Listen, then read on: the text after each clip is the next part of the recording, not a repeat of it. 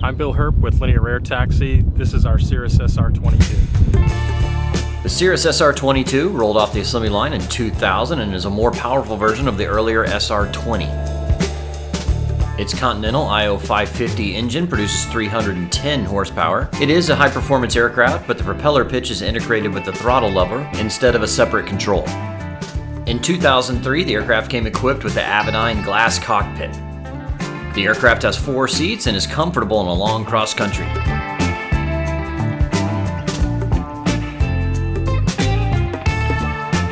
In this video, we're going to learn more about the airplane and its owner Bill, and then take it up in the air for a flight. I will be filming in the Denver area from April 11th through the 16th, so if you'd like me to film your airplane, send me an email at bobby at sailingdoodles.com. So let's talk to Bill and learn more about this airplane. So I got started flying in the mid 90s. I was uh, taking a break from my business career. I had uh, been the CFO of a company that we took public. And I was living in uh, Lexington, Massachusetts, right outside Boston, right under the flight path for Hanscom Field, and uh, saw the Cessnas and the Pipers flying overhead every day. And said to my wife, I've always wanted to learn to fly. What do you think? And uh, despite the misgivings of all of her friends, she said yes.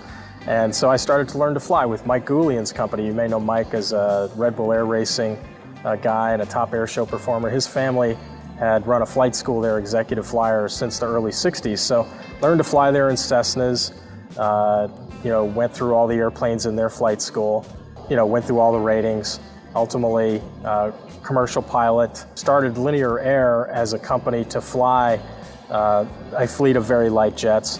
We started flying Cessna Caravans as a proxy for the cost of the very light jets, ordered 30 Eclipse jets, started taking delivery of those Eclipse jets, and then of course Eclipse went bankrupt for the first time in 2008, 2009, so we had to change our strategy. We actually bought this airplane, the Cirrus SR-22 I'm sitting in, in 2007, uh, and have used it as a corporate airplane and a rental airplane.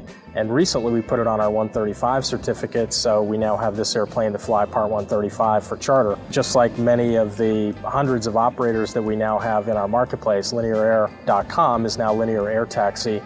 We have about 2,500 airplanes in the marketplace across the US, Canada, and the Caribbean, about 1,300 of which are piston props, all operated under Part 135 and with a price point that uh, allows us to sell them as a credible alternative to airlines and, and driving for four or 500 mile trips. So right now we're sitting here at North County Airport in Palm Beach. You know, to fly to Gainesville, for example, would be about an hour and 15, hour and 20. To drive there would be four and a half hours, right? So that's a good example of a kind of trip that an air taxi would be good for. And uh, we've been promoting it via internet travel search, kayak, and recently now we're on Sabre, which is the system used by the airlines to sell. And it's really terrific. A lot of people who had never considered flying privately in a charter are now using air taxis to take advantage of the opportunity to save time and have a really terrific airline experience. The Cirrus is a perfect air taxi airplane. It's very modern technology. As you can see, it's made from composite materials, uh, plastic basically, right, that's laid up, and uh, so it will never rust. It's very strong. It's very aerodynamically capable in that it has very little parasite drag because there's no rivets, uh, you know. So it's a very fast airplane. It's so fast that Cirrus didn't even have to do retractable gear, gear, so you've got the simplicity of that. Other sorts of things that are simple about the airplane is combining of the throttle and the prop lever into a thrust lever. Simple mechanical control that that flattens the pitch at low power settings and high power settings and gives you the ability to adjust it just by moving the thrust lever in between. Makes perfect sense. So really wonderful design. Gull-wing doors, as you can see, very comfortable to get in and out. Uh, very nice interior for you know passengers as well. And then there's the glass cockpit, right? So Cirrus was an innovator in bringing glass into general aviation airplanes. Uh, this airplane has the Avidyne system, the primary flight display and the, and the multifunction display. And those computers have the capability to bring a lot of capability into the airplane. Uh, ground proximity, uh, traffic, weather, charts, all these sorts of nav and situational awareness capabilities. And then you couple that with the advanced autopilot. So this airplane has the Avidyne digital autopilot as well, um, which you know has the capability to provide envelope protection when the autopilot is uh, engaged. The airplane won't stall. uh, the autopilot will lower the nose in order to keep the airplane, you know, flying. Uh, and then, of course, just you know, advanced approach capabilities with uh, being able to shoot an ILS or uh, a G- GPS LPV approach down to 200 feet above the ground. You know, it's made general aviation airplanes over the course of the last couple of decades uh, extremely capable. In many cases, more capable than, a, than larger turbine airplanes, including airliners, in terms of what they can do. So this Cirrus, serial number 463, is a uh, 2003 model. So um, one of the first ones to have full glass with a primary flight display and a multifunction display. Um, has what Cirrus would call the old style wing. So uh, 81 gallons of fuel versus more than 90 in the latest iteration, so a little bit more limited range, but it'll still fly for four and a half hours, which outflies most people's bladders as far as I've been able to tell. Uh, so it still goes very far. High speed cruise is about 175 knots, and at that you're you know burning maybe 19 gallons an hour at typical cruising altitudes of maybe 7,000 feet. Uh, you can pull it back, and with 65% uh, power uh, at max economy, you can get fuel flows down of 13 gallons and really only about 160 knot, or only about a 15 knot drop, 160 knots. So, and that's running lean of peak, which is typically how I operate the airplane and how we operate the airplane to get you know the best fuel economy and not sacrifice much in the way of speed. It's a terrific cross-country airplane. Uh, you know, it flies great. Uh, the autopilot's great. It's very stable. It's very comfortable goes fast for certainly a, a, a fixed gear single engine piston and you know it has relatively long legs and it's fairly capable you know i've been able to put you know golf clubs bicycles uh, and you know a couple three passengers in the airplane and go a reasonable distance. So obviously uh, you know when you when you load up the airplane you're sacrificing fuel. Uh, fuel to the tabs is 47 gallons which gives you you know three hour range. And that gives you uh, about 15 you know, about uh, 12 to 1500 pounds of payload capability. So it's quite a bit of quite a bit of capability. Yeah, so they can find us on Kayak, Hipmunk. They can talk to their travel agent, who can find us on Amadeus and Sabre, or they can come to us directly at www.linearair.com. Okay. Anything else you want to add here or talk about? That's good. I appreciate the opportunity. All right, let's go fly. That sounds good. Let's do it.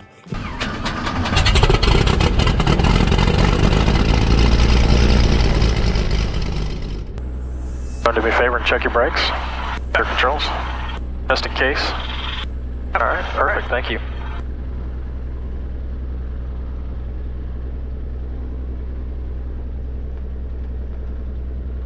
North County traffic, Cirrus taxi from the tie downs to runway 27 left, North County. Amount of wind there, 15, 20 knots at least there today. Yeah, usual. Ah. This is kind of the, uh, I guess, just a GA airport for Palm Beach. Yeah, this is, uh, yeah, it's uh, just outside of the 10 mile TFR ring when Trump is in town, ah. which makes it a little bit nicer than some of the other GA airports that are closer in. Clear left, clear right. Yeah. Going left. I mean, you always, I guess at that point you always got to file an IFR flight plan and all that yeah, I mean, certainly for 135, we always file yeah. IFR flight plans anyway, just because uh, we need to comply with the flight locating requirements under 135. Well, how many, uh, I think, uh, how many times do you know that the chute's been deployed? You know, I don't know that answer off the top of my head. I mean, it's double digits. Right. Um, mostly with private pilots getting into conditions where they were, you know, over their heads. It wasn't. Uh, it, they weren't running out of fuel. They didn't run out of fuel or into grid. They just kind of but got IFR, got IFR when they shouldn't have been. And there's things like that. There have been a couple of you know engine failures after after maintenance, that sort of thing. Right. Will be in the pattern. Um, well, I mean, like you like you were saying in your briefing, there makes sense. Like you know, pull it between four and seven hundred feet because you don't have a chance. Exactly. Else, uh, if I'm above that, I might try to glide somewhere and land it, not you know, deploy the chute at all. Would be my thinking. I don't know. Yeah, I mean, Cirrus more and more. I mean, when when we first got this airplane 10 years ago, you know, their idea was to get above 2,000 feet before you deployed it. Oh, really? Yeah, and they brought it now down to 400 based upon how successful it's been. North County traffic, Cirrus departing runway 27 left, VFR to the west. Or left. Or right. Ready to go? I'm ready.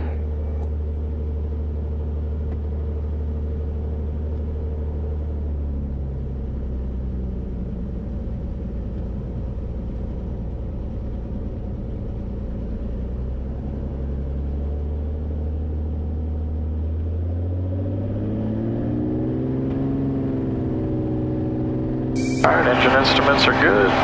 Airspeed's alive.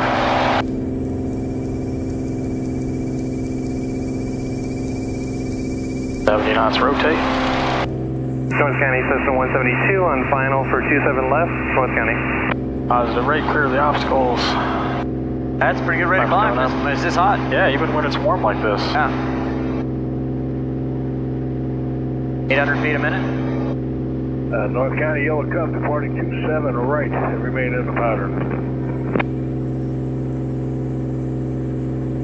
Not sure where that 206 went. Don't know either. Climb quick, try to get. Yeah, I guess uh, the thing you got to worry about here is landing in the swamps. Yeah, exactly. I do see traffic out there. At, uh, I think that's the that guy. Uh, avoid the gators if you go down, right? Yeah, yeah. You got a lot of gators to worry about, I guess. Yeah.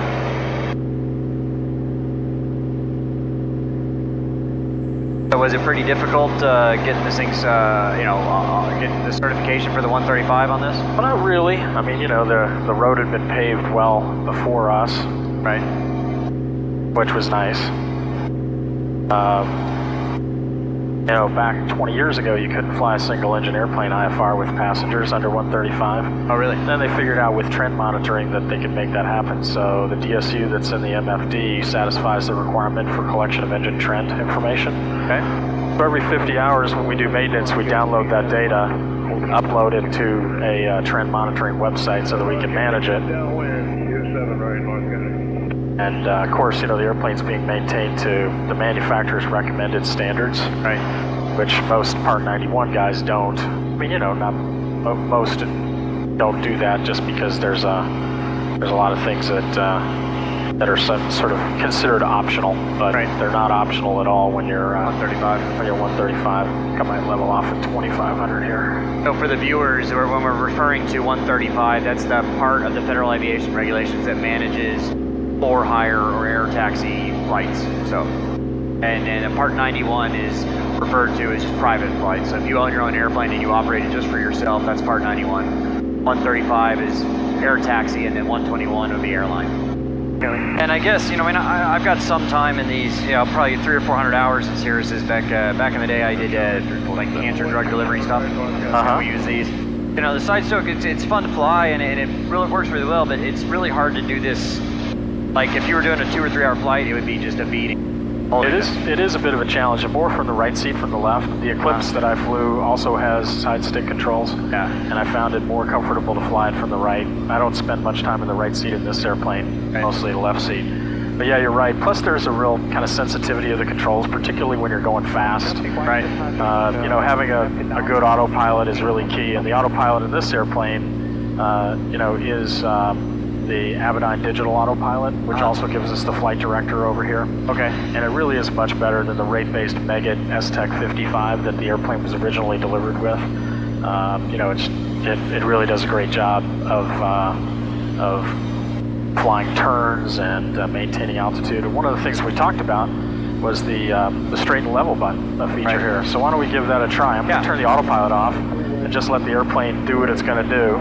Okay. And when we decide we want can't take it anymore, we'll press the, uh, the straight and level button.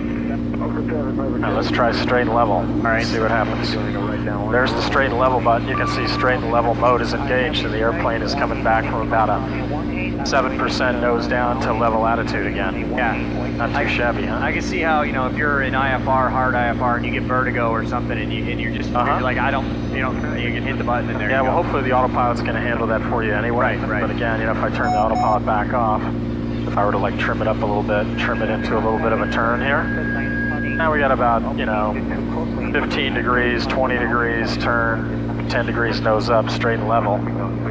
Lowering the nose, bringing us back to straight and level. Yeah. Pretty nifty function. Yeah. All here. North County traffic, Cirrus is five miles to the west, got the entry to left downwind for runway 27 left full stop. The guy that just took off from there head heading off. I got him. Yep. Up.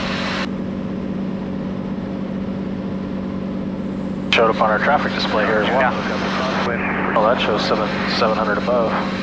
There's two of them over there. There's another guy and Autopilot's coming up. That's the king air. He probably just got a traffic call. yeah. Departing 27 left to the southeast. Silver to lane. OB to the southwest, North County. Uh, North County, the Malibu is crossing 27 right at Foxtrot, taxi in North Angers, North County. North County traffic, Cirrus entering the left downwind for 27 left, North County. Try not have to go too fast. That's one of the problems with the Cirrus is you can go too fast in the pattern and these uncontrolled fields. But you got a little Cessna 172 doing, you know, 100 knots or something. Yeah, exactly. Although on the other hand, it's helpful when you're going into, you know, JFK or Yeah. Miami International. You, you know, you can keep the speed up. 150 knots, 160 knots. Which Yeah. is the approach speed on most jets anyway. Yeah, well, that's that's cruise speed in this airplane, but Yeah, yeah, yeah. but yeah, you can keep going at that speed and then uh, you know slow it down, you know, pretty well, pretty quickly.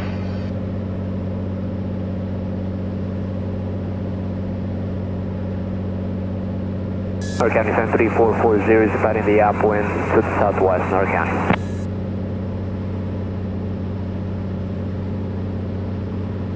North County traffic, Cirrus turning left base, 27 left, North County.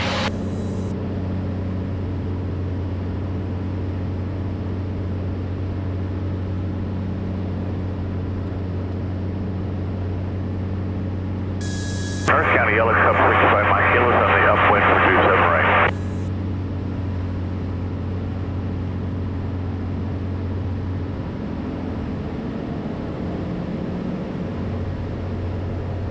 Finals clear. North County traffic, Cirrus turning final, 27 left.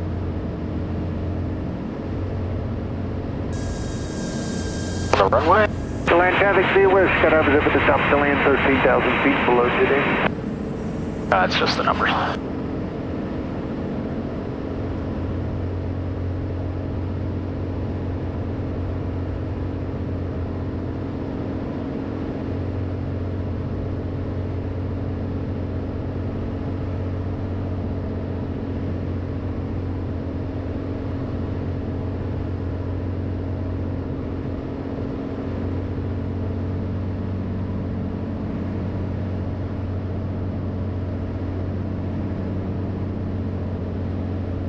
North County Yellow Cup's turning base 27.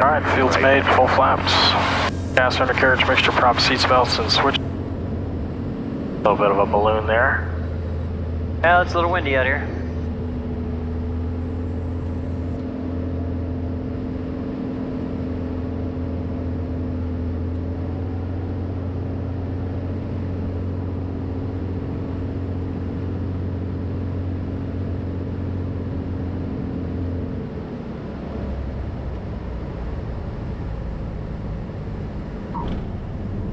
Oh, nice crosswind landing.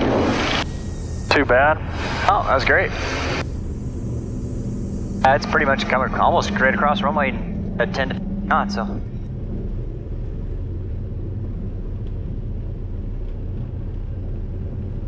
Thank you for taking me up. My pleasure. Pretty cool little machine. It's really comfortable too. I could, you know, get up there and cruise around 160 knots and the, not bad. Bill, thanks so much. My pleasure, Bobby. Hey, thanks, Flanks, for taking me up and cool airplane. And there you go. And so you can find them linearair.com if you can uh, do an air taxi with you. All right, thanks again. Well, thank you for watching another episode of Flying Doodles. Please click like and subscribe. Really appreciate you watching. We got more videos coming every week, couple a week. Uh, if you'd like to come fly, if you want me to come film with you, there's a link in, to my email down in the show notes. We'll make it happen. So thank you guys so much. And if you're really enjoying the channel, it's patreon.com slash flying. That's how this whole thing's funded. Thank you.